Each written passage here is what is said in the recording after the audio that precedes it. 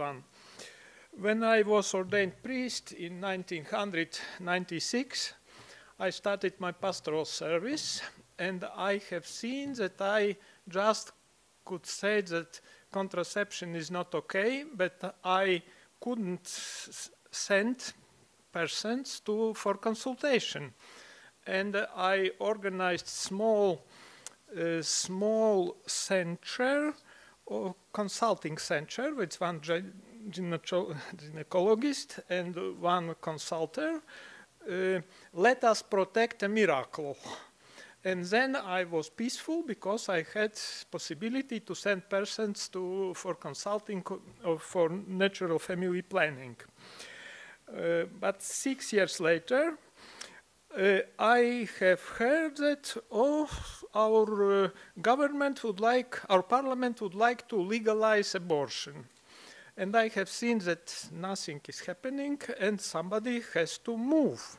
And I organized, I had idea how to uh, put argumentations, I made structure and organized one team of experts and prepare one uh, one uh, article. It was published in the most uh, in the newspaper number one, most liberal newspaper in Latvia, and uh, the structure was uh, plus minus so. Uh, in my full presentation, there is a text of this article, but I would like just make one short synthesis, some points that. Um, theological arguments doesn't work in uh, for secular audience and uh, I, I wanted to show that these theological arguments are not at all contrary to legal, scientific, and universal arguments, but even in direct harmony with them.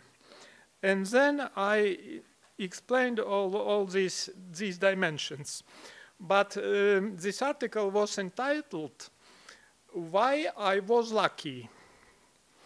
Because when my mother was pregnant, uh, she was under pressure to make abortion.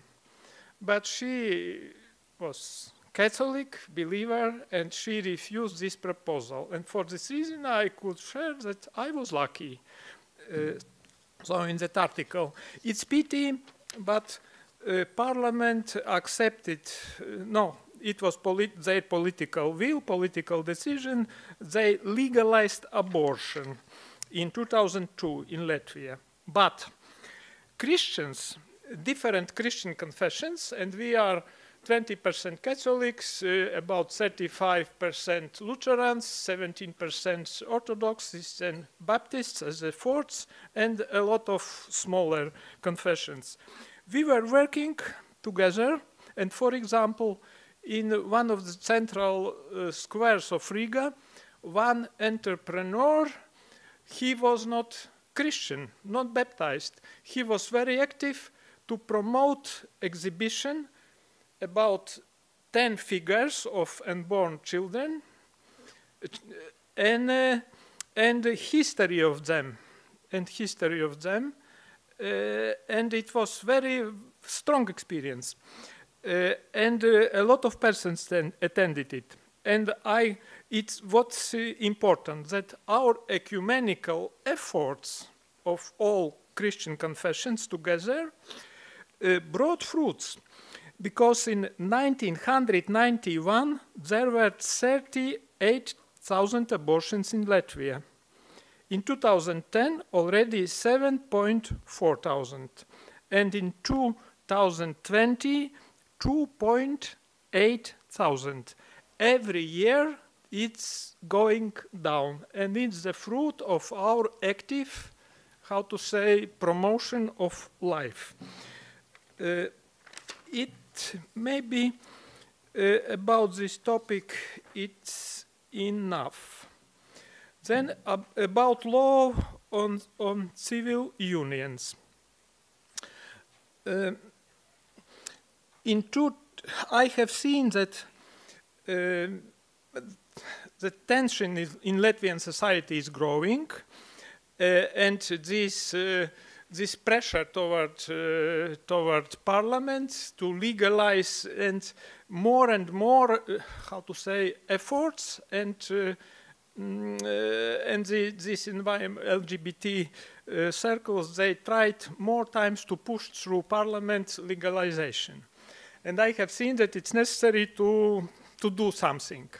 And wh when I Pope Francis uh, told about homosexuals that who I am to judge them, and uh, our media started to write that uh, that uh, Catholic Church recognizes homosexual unions, and I was invited uh, to the first program of our television, uh, one against one.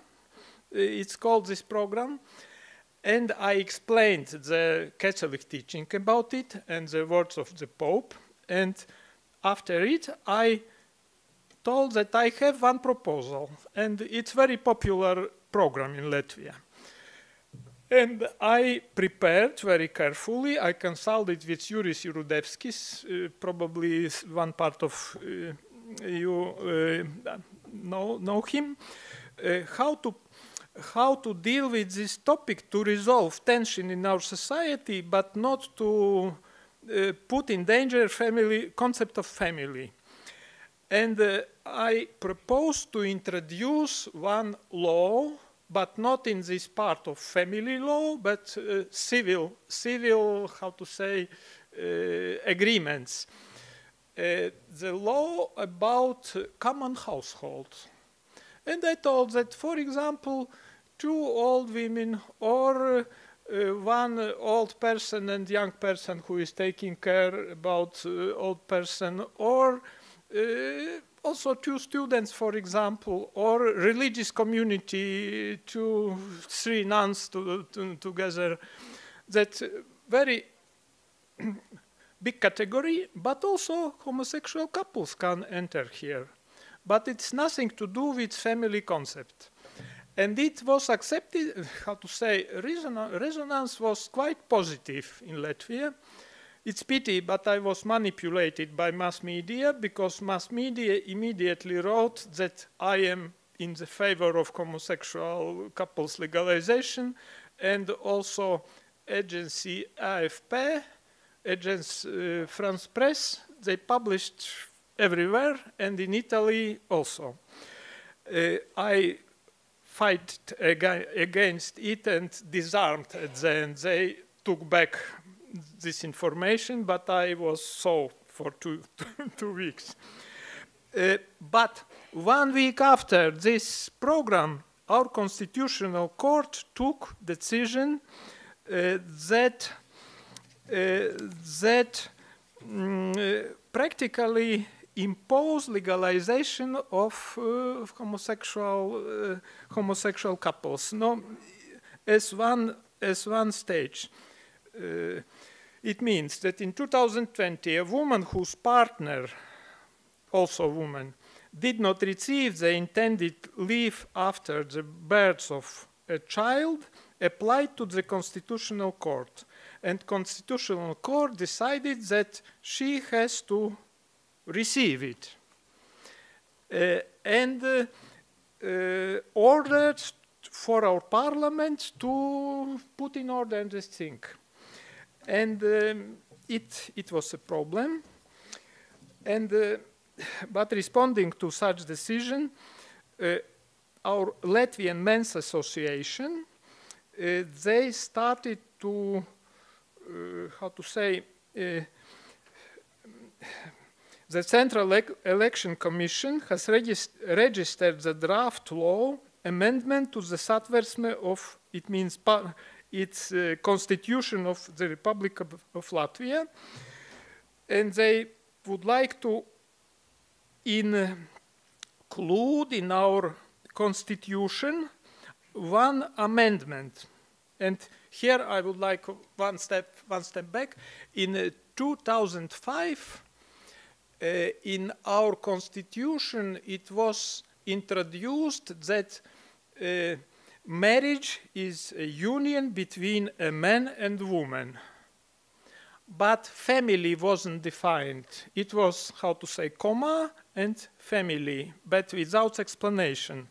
And now this decision of Constitutional Court, they are changing the concept of family, that family can be also homosexual union. And for this reason, our first step was the, our Catholic Bishops' Conference. We published common, common letter uh, that we support this initiative of uh, Latvian Men's Association. It was the first step. Uh, after it, uh, we organized ecumenical uh, letter and its uh, unique interreligious motive inside.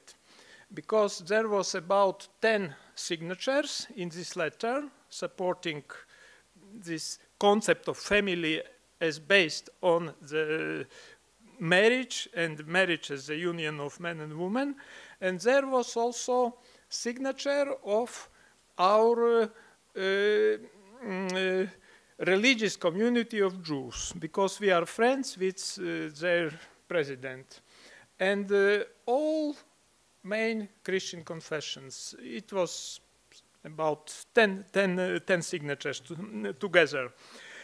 It's pity, but it was ignored by our uh, parliamentarians, and because we, I sent with my electronic signature to Parliament, to not to our highest uh, authorities, and uh, after it there was one also very strange shift because Ministry of Justice formed one working group to how to say how to fulfill this decision of constitutional court i sent three my delegates also. Other confessions also sent delegates. They were working for one year eight meetings proposals from our part all was it seemed okay. But at the end Ministry of Justice, it is, uh, how to say, governed by our so-called new conservative party. They prepared totally different proposal which practically recognize homosexual uh, couples like as family and put it in parliament. It was shock for for working group and for uh, for for Christians. We also ecumenically reacted to it and sent letter to the parliament inviting not to support this, uh, this, this proposal, but it's already, it, it already passed two times, two, two votations, and uh, remain just one votation, and it seems that for the sake of the support of conservative party, because they are coalition of two liberal parties and two conservative parties. And when three against one, it's clear that uh, it's passing through. And for this reason, it's pity, but our no concept of family in such way is in danger in our country. Be because before it was very clear that uh, marriage and family is union is based on the union of man and woman or parenthood or uh, or adoption. So it's the second point.